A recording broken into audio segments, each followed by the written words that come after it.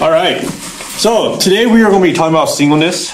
Uh, the message title for this little portion is called "The Wisdom for Singles." Now, I had a lot of things I, I, I wanted to talk about, and so you know, if I had a whole sermon series on this, it would come out to maybe five or six sermons. Do it. Not happening. So, so because I don't want to keep you guys here for five hours, I'm just gonna talk about this part about this wisdom portion about how do we understand even our own hearts when we when it comes to dealing with our desires for relationship, our desires for marriage, and and the struggle what that means while we are indeed still single.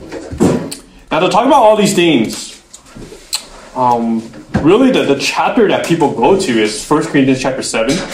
That is the chapter people tend to go to to talk about singleness, and that's where we are going to go look at uh, because there's a lot of questions that can come from 1 Corinthians 7, 1 Corinthians chapter 7.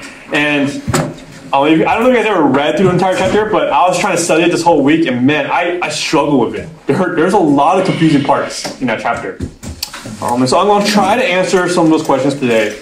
Um, but what I'm going to do first, right now, is spend um, some time just talking about our hearts. But before I even get to that, I want to first define singleness. This is taken from this book by Sam Allberry, Seven Myths About Singleness. I highly recommend this book. I, I just highly recommend it. It's, it's awesome. Um, it's, he is a British man and he just writes really openly. He is single himself, himself and um, he just talks about how, you know, really how he just deals with um, what it means to be single, but yes, still be part of the church family. Um, and, and there's just a lot of wisdom that he has in there. And, and this is the way he defines singleness. I, I agree with this definition. Now, when you open the Bible, the Bible doesn't just single out. This is what it means to be single, right? They don't really have a definition for it. And so, really, it's being drawn just from the truths and the wisdom that we can gather from Scripture. And so, what we have here is a definition that I think is biblical. Singleness. To be single means being both unmarried and committed for as long as we remain unmarried sexual abstinence. So it means to be both unmarried. So unmarried, when we talk about unmarried, it's not just legally like not married, but it's also underneath the church covenant, under the covenant of other people to witness that and to affirm that marriage. Unmarried and committed to sexual abstinence. Committed committed to sexual purity. And and I think that's that's the part where we need to really ask ourselves what is our current culture trying to teach us about what it means to be single, what it means to be married. They're, they're challenging all these different things. And a lot of it comes down to sexual abstinence. Because this is really the biggest, this is really the biggest um, struggle, right? Amongst our hearts. This, this, this, this talk about what it means to be sexually pure. Now, I, I, I know I'm engaged. I love talking about singleness, though. I, I value it a lot. Um, and and I'll, I'll get into a little bit of my story about how I even got to this place where I really value uh, what it means being single. But I, I really think that the church needs to talk more about this. I, I feel like, you know, I do agree we do need to talk about marriage and we need to have a biblical perspective of marriage. That's really important. Um, but at the same time, the reality is that there are many people who are indeed unmarried.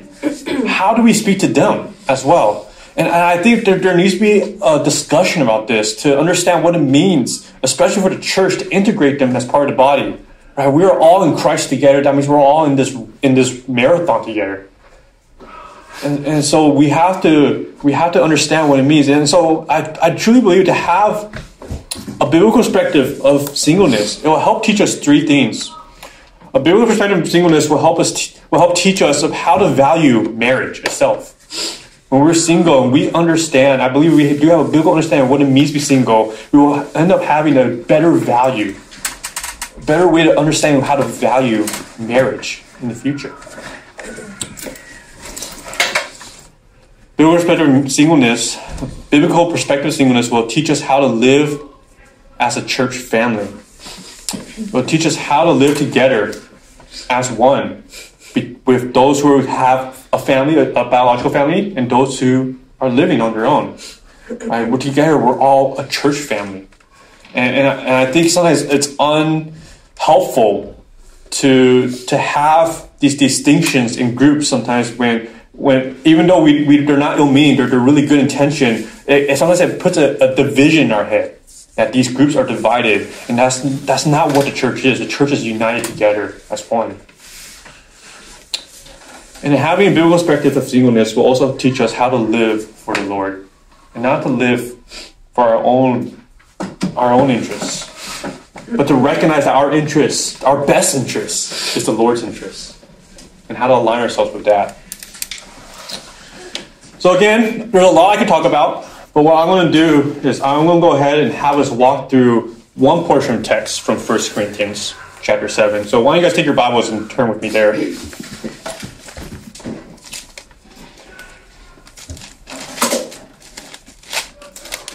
1 Corinthians chapter 7. And we're going to look specifically at verse 25 to 31. So, just give a little context, 1 Corinthians chapter 7 speaks, addresses mainly about sexual immorality. Right, chapters 5 and 6 is Paul's warning an issue against sexual immorality, saying, You, the church, must be pure because we as a body we are the body of Christ. The Holy Spirit dwells in all of us together. And therefore, we all need to strive to be pure for the sake of the church. And then as we hit to chapter 7, Paul starts addressing the other side of this same thing. Because some people in this church are taking it a little bit too far. If you look with me at chapter 7, verse 1, Paul here he's responding to the Corinthians, and the Corinthians have this, have this one statement. It says, Now concerning the matters about which you wrote, it is good for a man not to have sexual relations with a woman. And so the Corinthians understood this. They, they wrote this down. It is good for a man not to have sexual relations with a woman. And but the things that they're they're talking, they're taking that to the extreme. They're they're taking it to the point where they're saying even in marriage, people should not be having sex. husband and wife should not be having sex. And, and Paul's saying, no, that's, that's not what we're talking about with sexual immorality. And so he, he wants to bring it back a little bit here to, to have a good balance, understanding, you know, what is our heart's desire going on here. And so Paul felt compelled to not only discourage sexual immorality in general, but he felt compelled to establish some guidelines. Guidelines and wisdom on how to live out then our relationships with one another, our relationships in marriage, our relationships as friends, our relationships as the body of Christ. And so that's what chapter 7 is fixated upon. It's this it's to set guidelines and boundaries for us. And that's what I want to get to here. The heart of chapter 7 is found in verses 17 to 24. Verses 17 to 24. In 17, verse 17 24, Paul here is encouraging each person to live according to where God has them right now, today, currently. You read me verse 17. Paul writes, Only let each person lead the life that the Lord has assigned to him and to which God has called him. So Paul is saying, you know, if you are a student, live your life as a faithful student. If you are an employee. Live your life as a faithful employee. And it goes further than that. It speaks about who we are. If you are a male, if you are a female, live out those genders, identity. Be a faithful son, be a faithful daughter, brother, sister. And then, if you are single, live your life as a faithful, God fearing, single person. Which leads us into our passage, verse 25. I'm going to go ahead and just read this for us. Verse 25. Now concerning the betrothed, I have no command from the Lord, but I give my judgment as one who by the Lord's mercy is trustworthy. I think that in view of the present distress, it is good for a person to remain as he is. Are you bound to a wife? Do not seek to be free. Are you free from a wife? Do not seek a wife. But if you do marry, you have not sinned, and if a betrothed woman marries, she has not sinned. Yet those who marry will have worldly troubles, and I would spare you that. This is what I mean, brothers. The appointed time has grown very short. From now on, let those who have wives live as though they had none, and those who mourn as though they are not mourning, and those who rejoice as though they were not rejoicing, and those who buy as though they had no goods, and those who deal with the world as though they had no dealings with it. For the present form of this world is passing away. You can split up this passage here into two parts. And in the first part here, what we see is this advice that Paul gives to us, simply saying, live faithfully. Live faithfully. Now, Paul here in verse 25, he, he makes this comment. He says, concerning the betrothed. And I, I do want to talk a little bit about that. Well, that's the ESV translation. The Greek word for betrothed here is the Greek word uh, par- parthet, parthenos. And directly translated, that word means virgins. So if you're reading the NASB, that's the way they translate it, right? Virgins. Um, and so in this case, I do prefer the NASB translation, but that doesn't mean the ESV is wrong for saying betrothed. What betrothed means is, is pretty much a term back then for engagement, for someone who's engaged. The ESV isn't necessarily wrong because later on in 1 Corinthians chapter 7 and verse 36, that same word appears, but I actually prefer the way ESV translated it then. Um, but for this verse here, verse 25, I do think Paul's addressing virgins.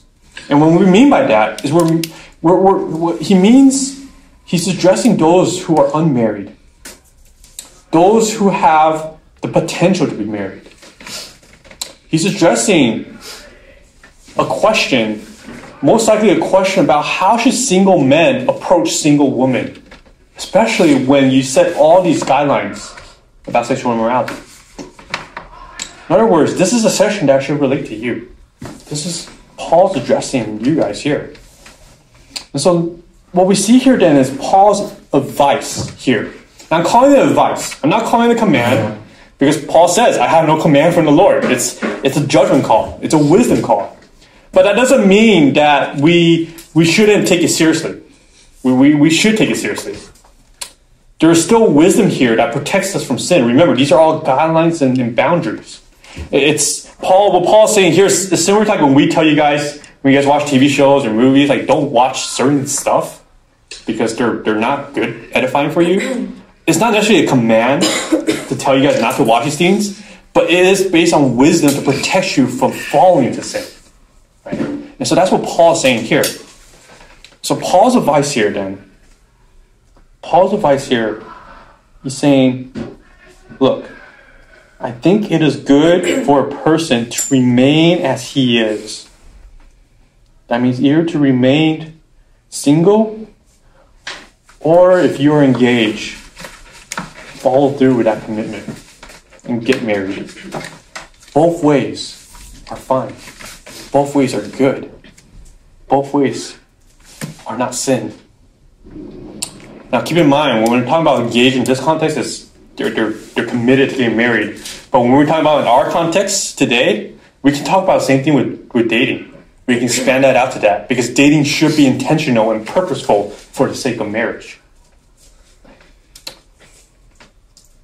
So, what we have here then is that there's no direct command here about whether or not we should get married or whether or not we should stay single. Instead, the command here is saying live, or the wisdom here is saying live the way that you are today, the way you're called today. And that's really my heart for you guys as we're going through this topic tonight. Is to take hold of this advice and to, and to really to really have in your hearts. And and guys, I know I you know I was in college before, I sat in your chair before.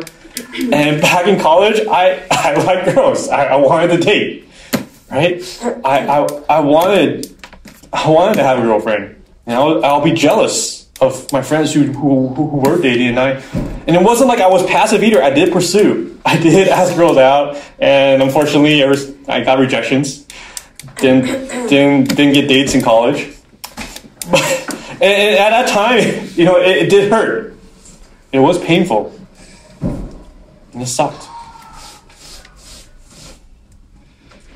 And I struggled with this. I struggled with with God with this, with my own heart, trying to you know figure out you know what does that mean? Well, what am I doing something wrong? Is something wrong with me? And, and that's a common question, right? That we tend to ask ourselves. and so I, I want us then to to really take hold of Paul's advice here. This advice here is to really set us free from those worries and those burdens, those anxieties that we carry in our hearts when it comes to dating. He's saying, live out your commitment to God. Be free from all that. We worry about how you commit your life to God. Be who you're called to today. Be students. Be classmates. Be sons and daughters. Be members of the church. Part of the church family. And if you're dating, then be a good boyfriend and girlfriend. But if you're single, be someone who is just committed to God and devoted to Him. There, that doesn't mean no, he, he doesn't put one status over the other. He's putting everyone equally here committed to the Lord, to where the Lord has called them. Right? Now, Paul here ends this section right, at the verse, end of verse 28. He says, Yet those who marry will have worldly troubles. And I will spare you that. So Paul here wants to spare them worldly troubles. And I'm not going to get into worldly troubles in, in this message right now. Um, if you guys really want to know the, the down dirty, go ask PT.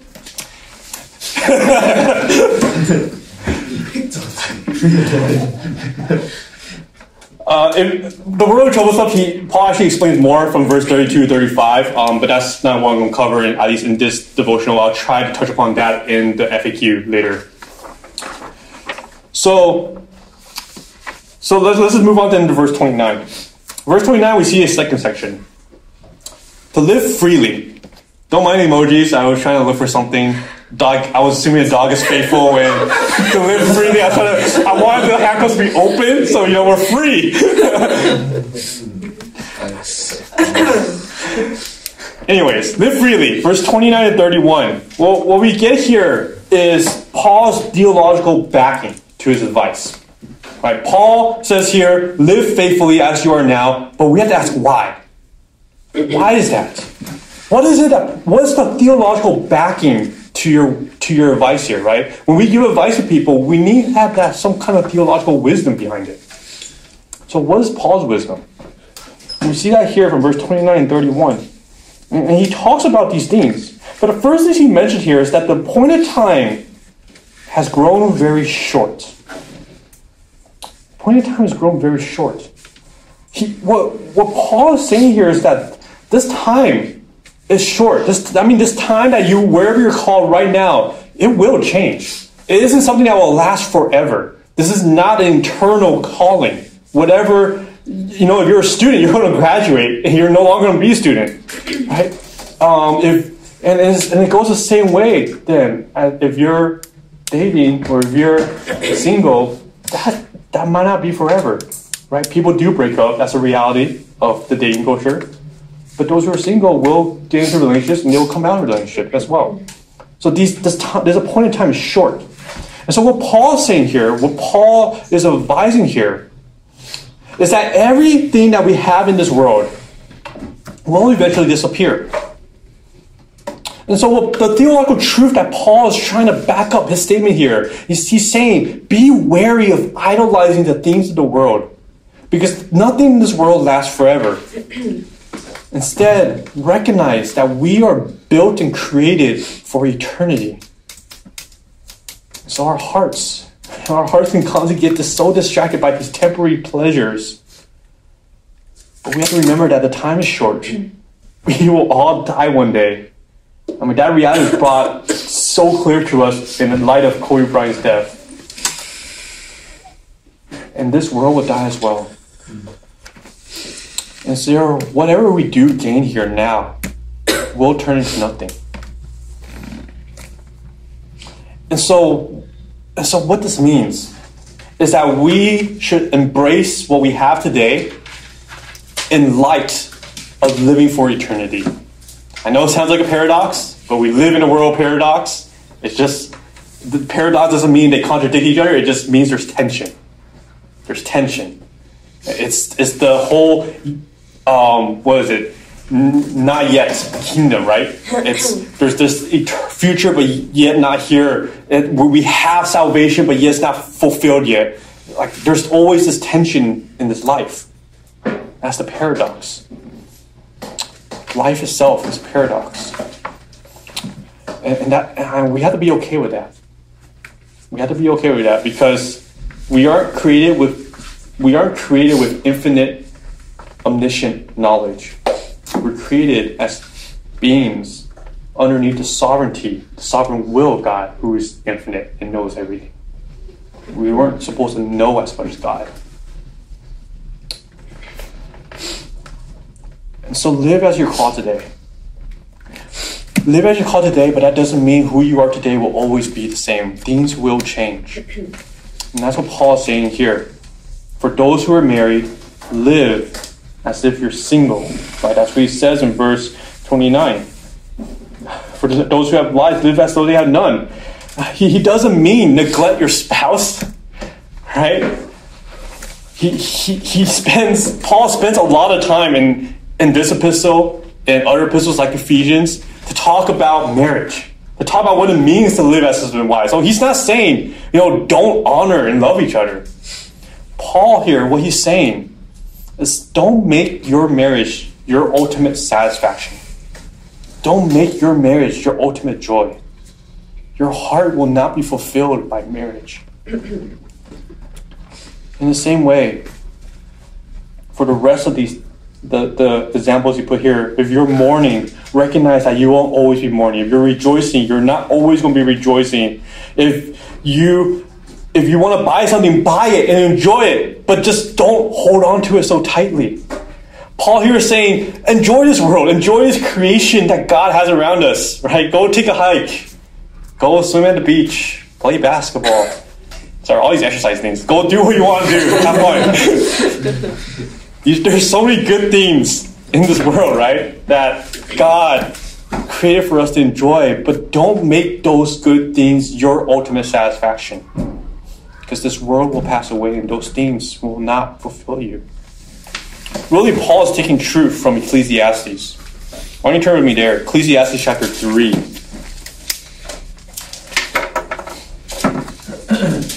Ecclesiastes is found in the Old Testament after Proverbs before Song of Solomon. Ecclesiastes chapter 3, verse 1. It says, For everything there is a season, and a time for every matter under heaven. So our, what, what, what, this, what, this, what it's saying here is that our lives here will constantly be changing. There will be a season for everything. Everything will continue changing season to season, including our relationship status. In Ecclesiastes, the, the, the writer here is making a point that we could be so worried about all these things here on earth, but, but what's the point of all that? Right? He, he says, vanity of vanities, everyone will die. And what will happen then, right? What will happen when, when all that you gain just disappears? And so the writer of Ecclesiastes points us to God. In the same chapter, chapter 3, read with me from verse 11. He says, I perceive that there is nothing better for them than to be joyful and to do good as long as they live. And also, well, sorry, verse 11 was before that.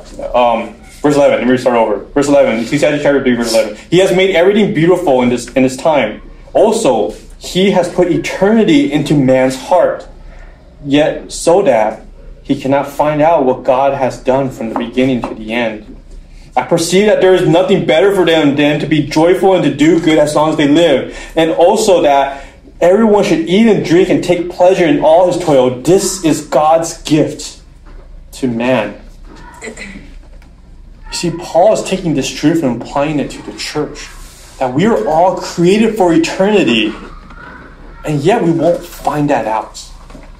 We, we, we need to be fulfilled by the only one who is eternal, which is God. That's, that's where we can find true fulfillment. But yet, while we're here on earth, enjoy, enjoy the creation, enjoy this gift that God has given us. So Paul's taking this truth and he's applying it, applying it to 1 Corinthians chapter 7. He's applying it to our relationship status. to us being married and single. So Paul's saying marriage is a good thing. He's saying singleness is a good thing. Paul is trying to emphasize that both are indeed gifts from God. We are free to pursue both. But because both are worldly gifts, both are also temporary. And so, what we need to recognize is that both singleness and marriage have a greater purpose. They both point us to our relationship with God. Turn with me real quick to Matthew chapter 22.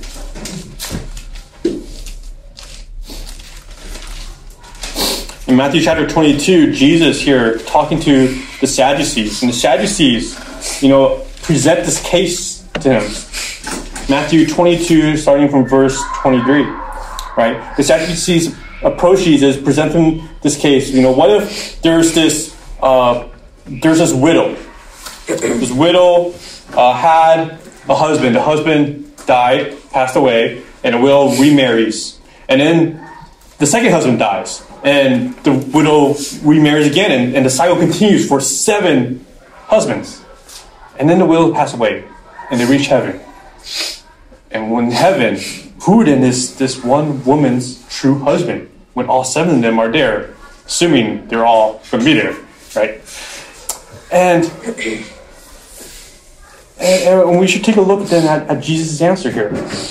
Jesus' answer from verse 29, Matthew 22, verse 29 you are wrong. That's so direct. You are wrong. because you know neither the scriptures nor the power of God. For in the resurrection, you need, they neither marry nor are given in marriage, but are like angels in heaven. And as for the resurrection of the dead, have you not read what was said to you by God? I am the God of Abraham and the God of Isaac and the God of Jacob. He is not God of the dead, but of the living. So, what Jesus is pretty much saying here is that there's no earthly marriage in heaven. That too will pass away. That too is temporary. It become nothing. And so marriage then can't satisfy us. Singleness can't satisfy us. We know that. We feel that. Now, our hearts are made for eternity. They're made to be satisfied by God alone, the eternal one. And that's why both worldly marriages and singleness both uh, point to an ultimate end. They both point towards our eternal marriage with Christ. And I don't have time to show you where I get that. You can find that in Ephesians as we cover later in our series. But what I really want to get to here is show us that, you know, marriage here. Marriages seek to imitate and prepare our hearts for this eternal marriage in heaven. Singleness, if you're going to be single for the rest of your life, it's there's just going to be this longing, right? This hope in us, this desire for that ultimate end as well. All of it points to this one end, our relationship, eternal relationship with God in Christ. Because it is only there where we can find fulfillment and satisfaction. And and this this took me a while to to figure out. I mean, I went through so much of my own personal lives just to just to get to this place where I can say, okay, I get what this what this means to, to live not necessarily content with singleness, but to value it. Right? When, when we say when we say to to have contentment in life, it doesn't mean there's no fight. Right? There's indeed peace with contentment, but it's always a fight to get there. And and I struggled with that for a while. I tend to still struggle with it now sometimes. I remember when I was in college, there was an older guy, friend of ours, told me, amongst a group of us, he pointed me out. He said, I was most likely to be the one to get married first from my group of friends. I don't know why. But it, it stuck with me. Right? It, it, it, it planted the seed of expectation in my own heart. And and and and it, and so I expected, you know, even if I don't want to admit it out loud, in my own heart, I was thinking, you know, when I start dating, it's most likely going to work out, right? It's going to be okay. I dated my first girlfriend. Um,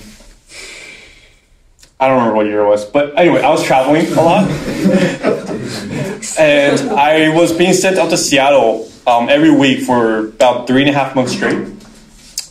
And pretty much, I had to miss out on coming out to IT. Uh, it was hard to come out to church because I had to fly out on Sundays, and and I didn't really have any fellowship out there. After work, I'll just go back to my hotel, change, and then maybe I'll just walk around the block and find find something to eat, um, and then I'll head back home. And it got really lonely, and, and I think it's that time when my that loneliness, that desire, just made me call up a girl and ask her out. And, and then and then and then after several dates, we end up starting dating, and that didn't last too long. And and then after that, I, I dated again, and then that didn't last long either. And, and then at that point, after the second girlfriend, second breakup, I I told myself I need to just I need to figure out what's going on in my heart. And so I committed myself to say, no matter how much I desire to ask someone out, I'm going to be single for a year. And, and just really wrestle with my own heart and figure out what's going on. Because I didn't think I'm ready for this. And I prayed a lot.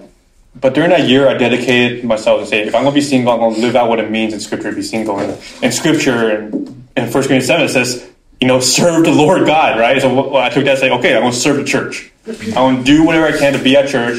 I'm going to do whatever I can to be there for my friends whenever they need it. I want, but I also want to take some time to enjoy myself. So I'm going to try to go on vacations and, and go go on trips and hang out with people when when they ask me because I'm I'm free to do so, right?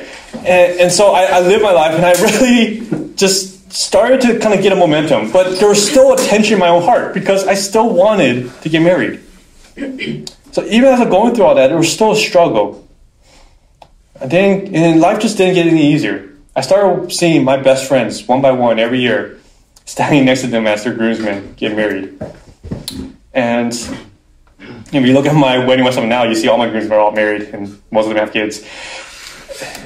And, and, so I, and I, stood next to them, all of them, and I, I was happy for them. But at the same time, I also recognized that every time I saw one would get married, we didn't really talk as much afterwards. And so again, there's this wave of loneliness that comes hitting back. And it was it was difficult. There was a struggle with this, and, and I was trying to figure out, okay, you know, I'm happy, but at the same time, my own heart was a tension,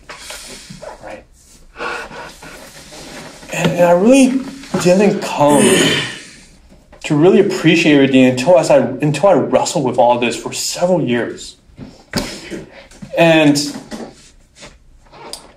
and I did come to really value the joys of singleness a lot.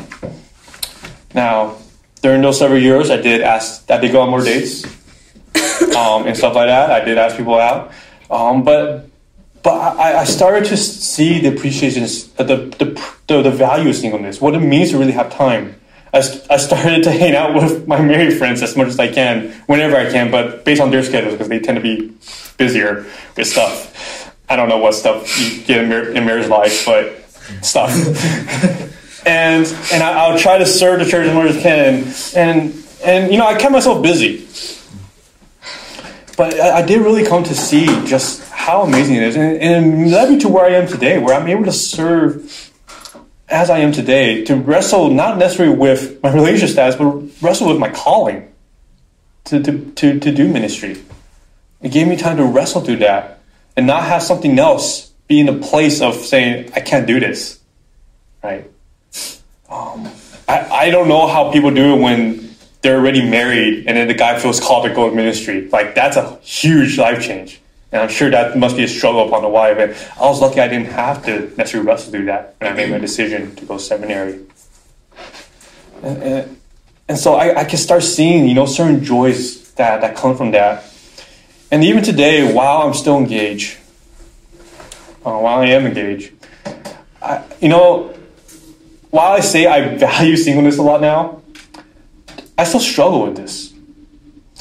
I recognize that God has called me here to move on. He, he has placed someone in my life today to be engaged, and you know, to be married in the future. But at the same time, I'm reading scripture and I'm seeing Paul says, I wish it better for you to be single so you can serve the church. I'm like, oh, should I do this? I, I kind of want to do this, right? And I still struggle with that today. And a lot of times it comes down to me saying, I want to do it because I want to be that person that said I did it. And it's less about who God is, it's more about who I am. Instead of, and when I realized that, I mean, if you talk to me, Sharon, I we admit this that I, I struggle a lot with committing because I struggle with this fact, with this with this truth about singleness. And I was like, I don't know if I should do this. And I struggle with committing, and and that was hard for us.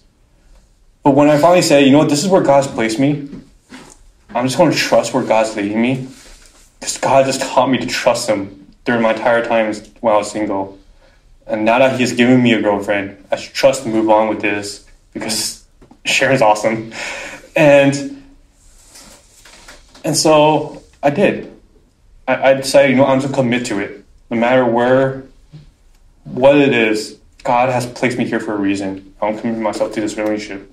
And and man, there was so much more joy that came out of that once I made that commitment. And so I and so I'm living this way now. And so I just want to encourage you guys, you know, live out your life as you are for God. But that doesn't mean, you know, don't date anyone.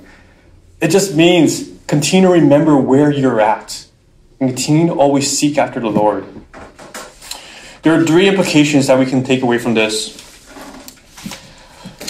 First of all, there's a recognition that all of us here are indeed born single.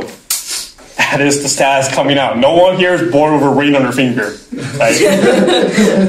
what about twins? Twins. No ring on their finger. they have an umbilical cord. But the other truth about this too is that not all of us stay single. Right? Not all of us will stay single. In fact, majority of people get married. But at the same time, we also recognize that not all marriages last forever. Well, marriages don't last forever in general. Uh, yeah, but yeah, marriages don't last forever in general. But let's also remember that not all marriages last entire lifetime either. Very few couples die side by side together. Those who are married will end up being single again when their spouse passes away. And so and, and so therefore those then who become widows or widowers, they're they're going to be single again. And we and then they're going to be in another season of life. And I think the church needs to recognize how do we then serve them and still incorporate them as part of the family. Right? But it doesn't matter at the end because we will all have the same status in heaven. We'll all be married to Christ. We'll all be married to Christ.